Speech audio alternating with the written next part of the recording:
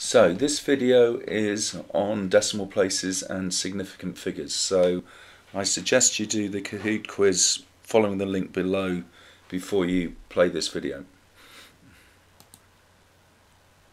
So 10 questions on decimal places and significant figures. So question 1. Round 53,286 to one significant figure. Now with one significant figure you're only allowed to have one digit in your answer which is not a zero. Your zeros are free. You can have as many zeros as you like. So 53,286, our significant figure is going to be the 5 to start with.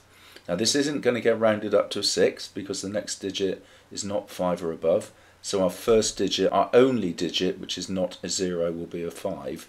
Now we need a, a number of zeros to get this 5 into the appropriate um, 50,000 column, so we're going to have to put in four zeros.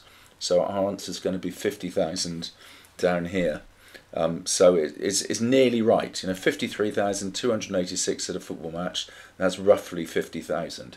So one digit which is not a naught, and obviously the number is closer to 53,000 uh, 50,000 than 60,000. So gold is the answer.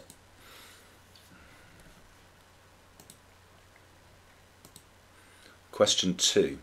So 56,359 to one significant figure.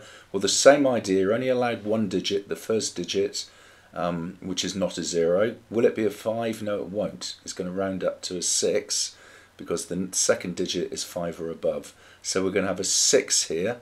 Now to make it 60,000, we need to pop in four zeros.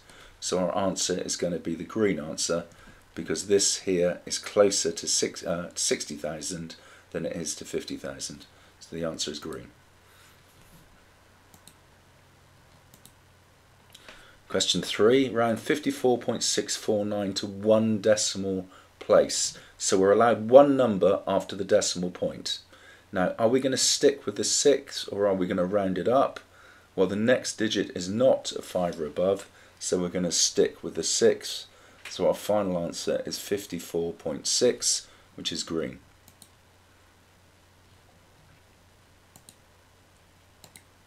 Question 4, around 54.4639 to one decimal place. So one decimal place, one number after the decimal point, the 4. Are we going to stick with the 4 or go up to 5?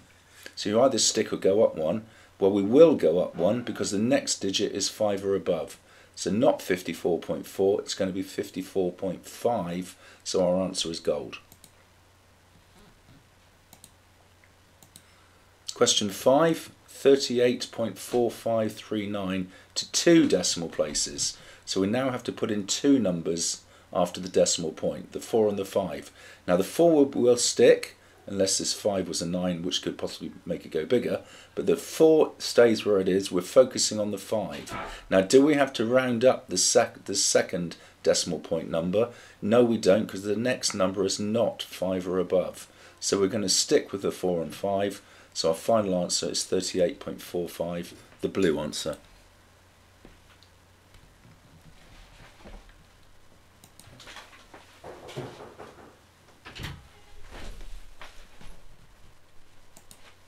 So question six, round 46.3852 to two decimal places. So two numbers after the decimal point, the three and then the eight. Now are we going to stick with the eight? No, we're not, because the next number is five or above. So the eight's going to go up one to nine. So our final answer is going to be 46.39, which is the green answer. Question 7, round 18.96 to one decimal place. So we're allowed one number after the decimal point, which is the 9.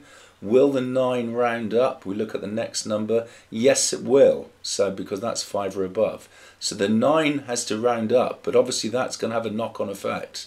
So rather than, you can't have 18.10, so basically uh, the 9 is going to, as it becomes a 10, it's going to force the 8 to become a 9.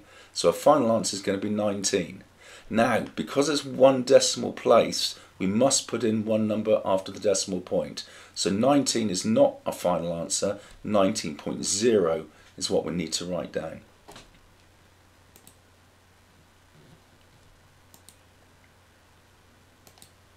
Question 8, round 0.0039 to one significant figure. We're allowed to have one digit which is not a zero. So go to your first non-zero number which is a 3. Will this 3 stick as a 3 or round up to a 4? We look at the next digit. The next digit is 5 or above so it's going to round it up. So our final answer is not 0.003 but 0.004. So again, we're following the rule, one significant figure, one number which is not a zero. So our answer is the blue answer.